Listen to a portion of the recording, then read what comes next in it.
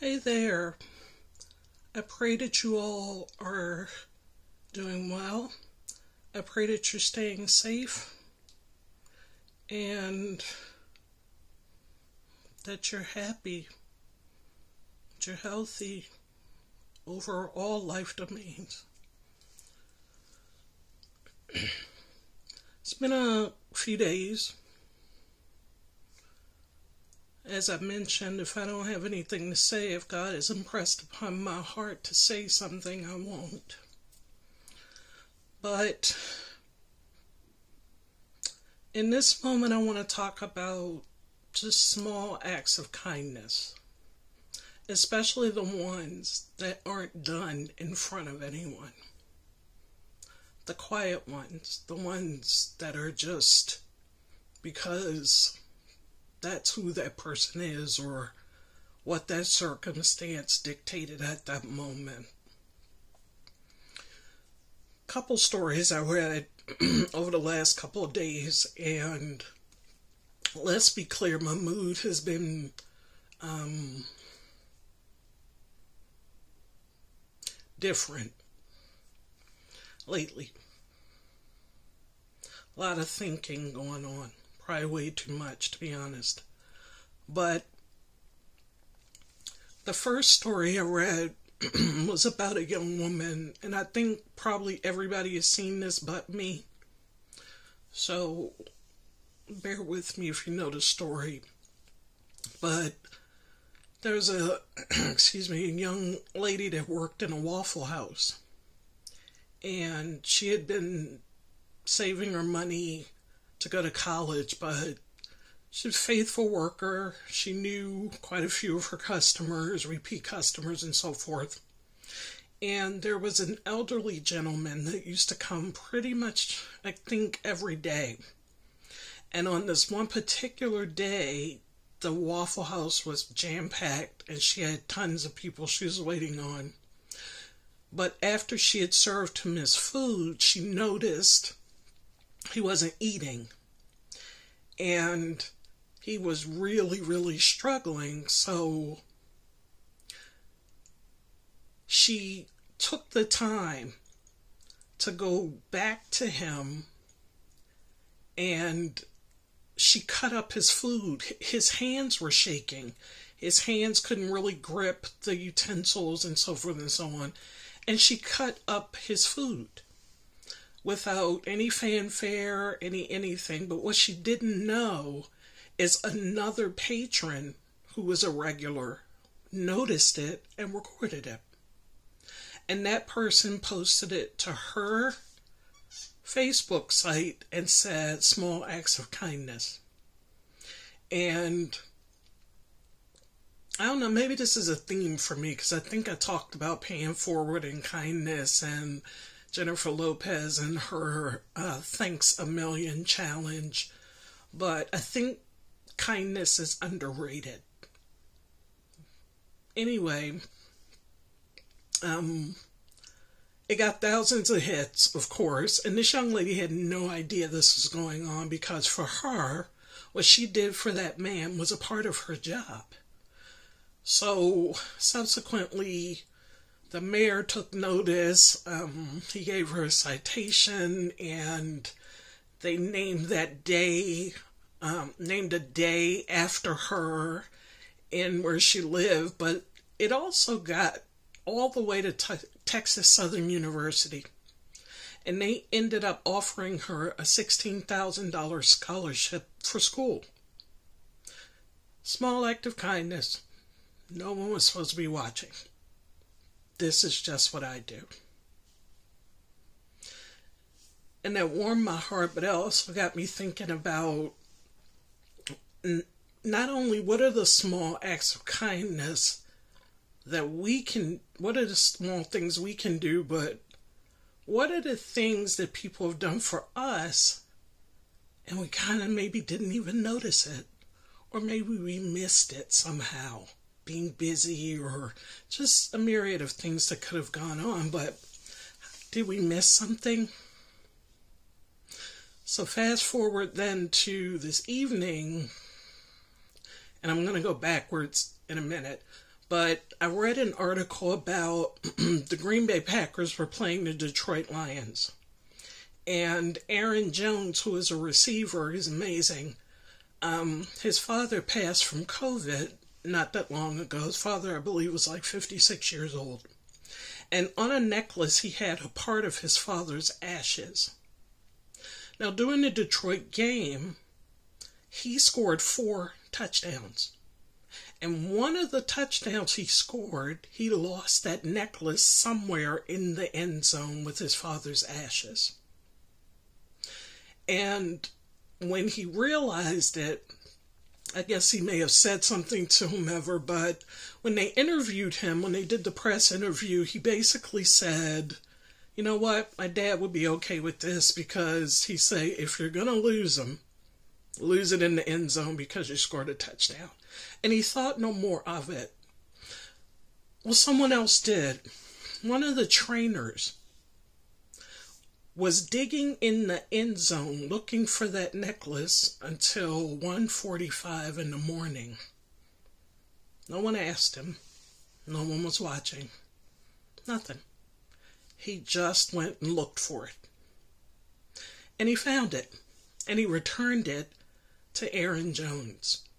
And he not only thanked the man, but he said, This goes to show you we're not just a 52 man roster. We're human beings to each other. We're people to each other here. It's more than football.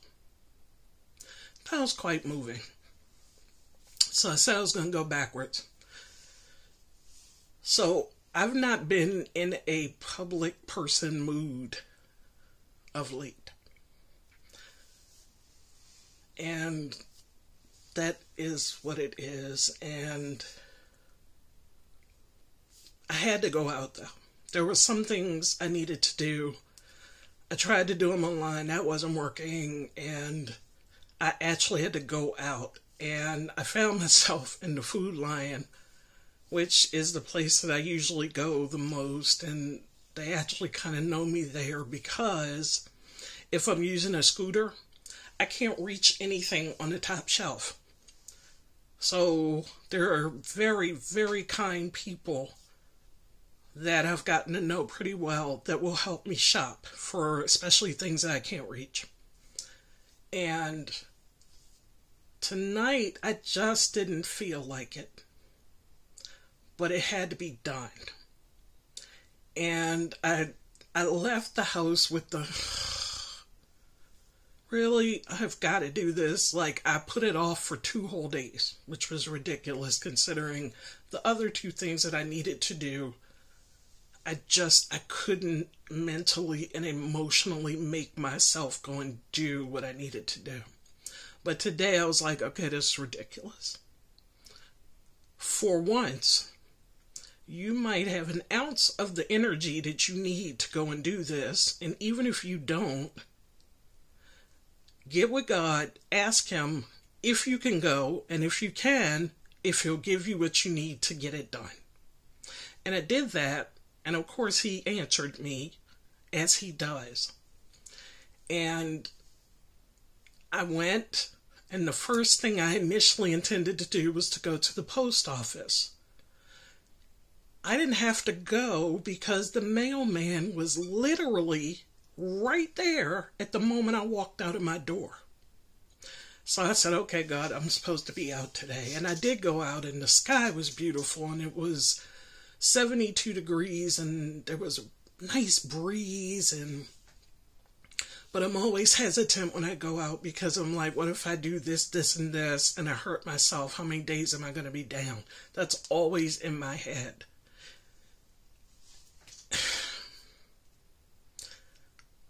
I did a few things. And I was exhausted, but I had to make Food Lion my last stop. And I always do because they close at 11 at night.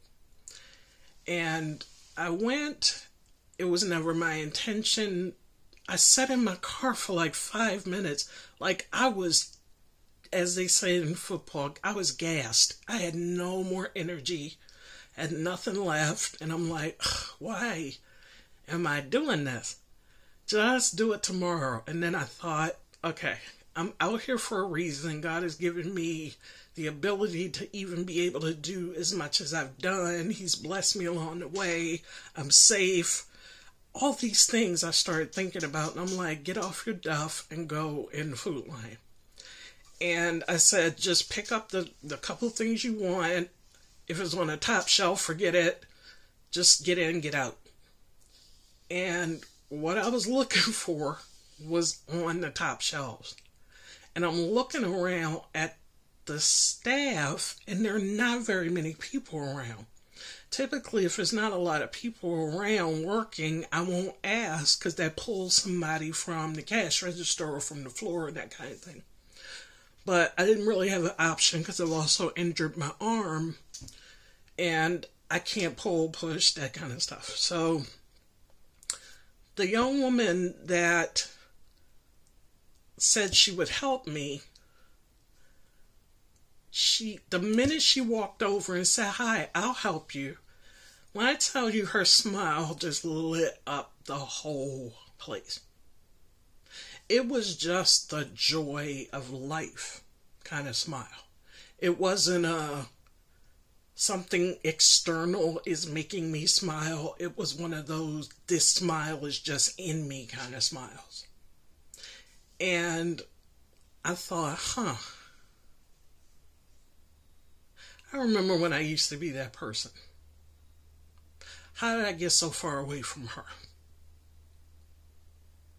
How did I get so far away from that Cryss? Because a smile was the thing that just kind of came natural to me. And over time, I realized it was one of the easiest gifts to give to another person. When did I turn into Moody Judy?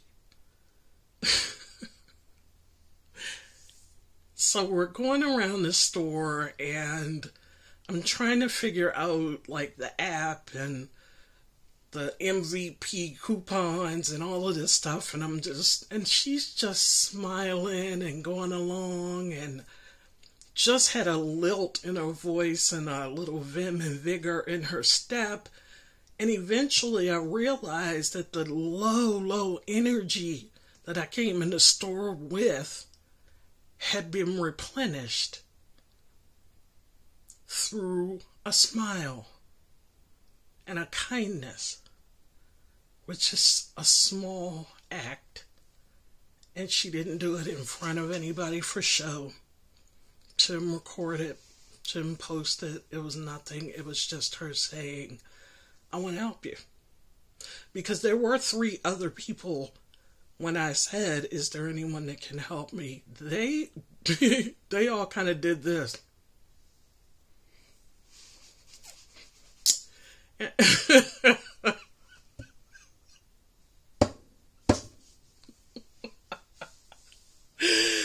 oh, I'm sorry. That just tickles me.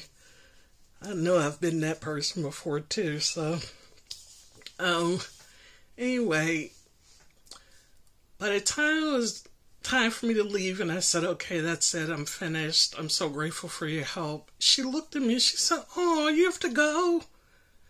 And I was like, Yeah. She said, Well, I'm coming to your car with you. And I was like, You don't need to do that. I'm, good. She was like, No, we going all the way. We doing this. And I was like, Wow, that just, it replenished my spirit.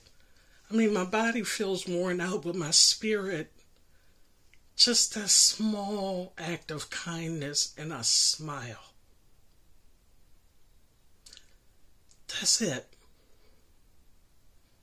That's it. Sometimes that's all you need. And you don't know what people are struggling with when they come when you come in contact with them, however that might be on your job, walking down the street, sitting in traffic, on a bus, in a grocery store, you have no idea what is happening inside of someone and it reminded me, it made me remember Crystal, who would offer a smile just because it felt good to smile.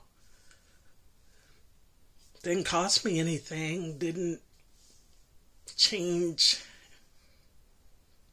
the direction of my day. It was just who I was. And I miss her.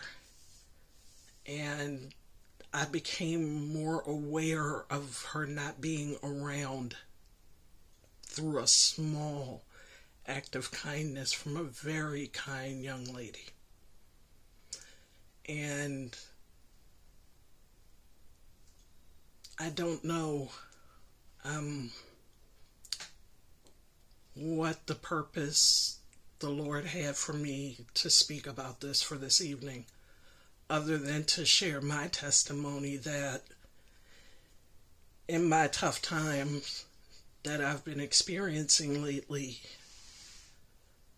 that act of kindness lifted my spirit and reminded me of the girl, the young woman, Crystal, whose small act of kindness every day was simply a smile. What is yours? What's your small act of kindness?